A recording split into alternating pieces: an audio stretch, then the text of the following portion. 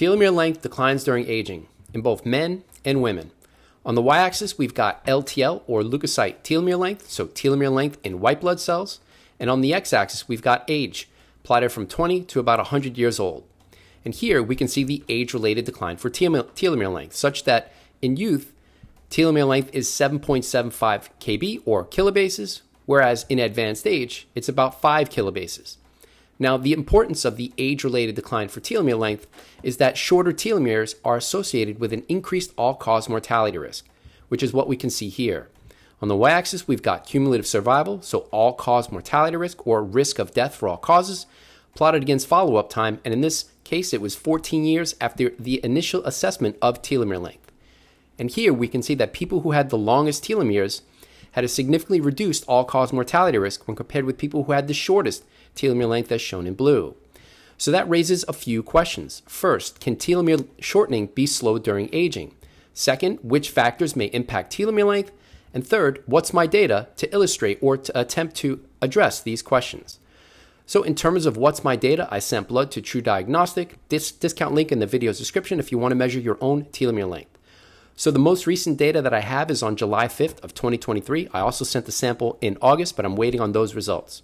So for the July test, we can see that my telomere length was 7.1 kilobases, which I've got some room for improvement because in youth, telomere length is 7.75 kilobases.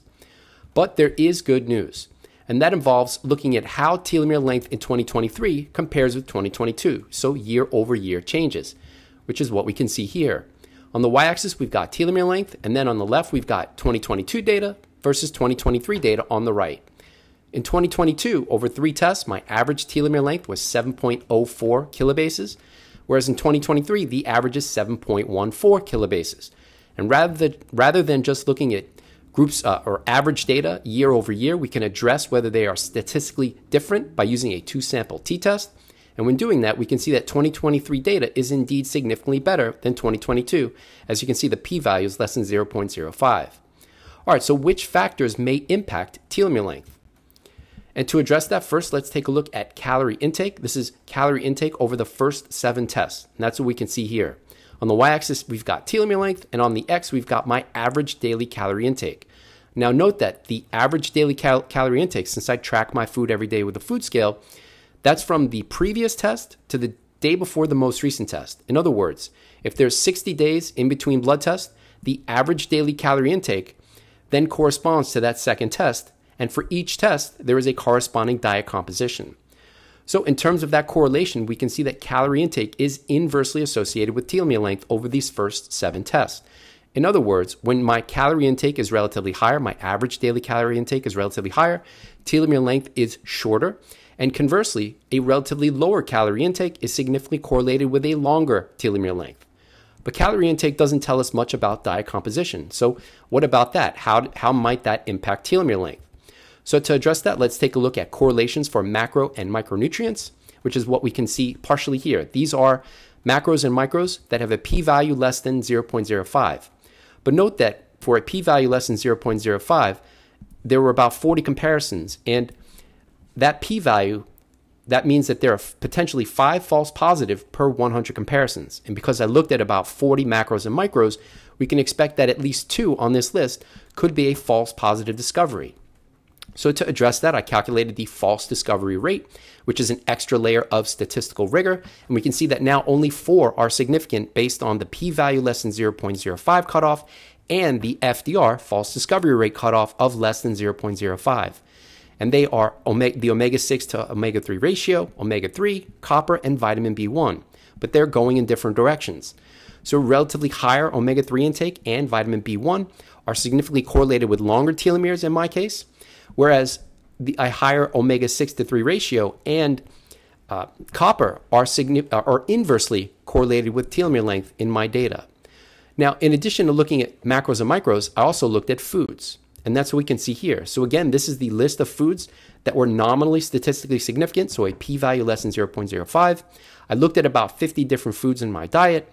And when considering again that five false positives per 100 comparisons, we can expect that two to three, based on a p-value less than 0.05, could be false, uh, false positives. So I calculated the FDR, and after calculating the FDR, only three remained statistically significant. Parmesan cheese, cocoa beans or cacao, and flaxseed. And more specifically, a relatively higher intake of Parmesan cheese and cacao beans are significantly correlated with a shorter telomere length, whereas conversely, flaxseed is significantly correlated with a longer telomere length. But note that everything I've just shown you are unadjusted correlations. Are these correlations still significant after accounting for calorie intake, especially when considering that calorie intake is significantly correlated with telomere length? So, to address that, I looked at multivariate models, and that's what we can see here. So, at the top, we've got the beta coefficient. So, are these are the correlations for calories and Parmesan cheese positively or negatively associated with telomere length? And then the p value less than 0.05 being the measure of statistical significance. So after including calories in this model, we can see that Parmesan cheese is still significantly correlated or significantly associated with telomere length. So higher Parmesan intake is significantly correlated with a shorter telomere, telomere sorry, telomere intake, sorry, a shorter telomere length after accounting for calorie intake. And then I use that similar, that same approach for both cacao beans and flax seeds. So after adjusting for calorie intake, we can see that a relatively higher intake of cacao is still significantly correlated or associated with a shorter telomere length. And conversely, after adjusting for calorie intake, a relatively higher flaxseed intake is significantly associated with a longer telomere length. I then used that approach for the macros and micros, or the ones that were significantly associated with telomere length, but none of those four that were significant, omega 3, the 6 to 3 ratio, B1, or copper, none of those were significant after adjusting for telomere length. Now, rather than adding extra layers, uh, or in addition to adding extra layers of statistical rigor to try to identify what might be impacting telomere length, I can alter level, eh, levels of these foods. And that to me would be the most direct approach. So that's the plan to eat a bit less Parmesan, to eat a bit less cacao, and maybe a little bit more flax seeds. And we'll see how telomere length looks for the next test, test number six, which is planned for October of 2023. All right, that's all for now. If you're interested in more about my attempts to biohack aging, check us out on Patreon. And before you go, we've got a whole bunch of discount links and merch that you may be interested in, including discount links for at home metabolomics, NAD quantification, epigenetic testing, including telomere testing, oral microbiome composition, green tea, at home blood testing with SiPhox Health. Note that their panel is different from the iollo panel, so there's very minimal overlap. Diet tracking with Cronometer, or if you'd like to support the channel, you can do that with the website Buy Me a Coffee. We've also got merch, so if you're interested in wearing the Conquer Aging or Die Trying brand, that link and all of the other links will be in the video's description. Thanks for watching. I hope that you enjoyed the video. Have a great day.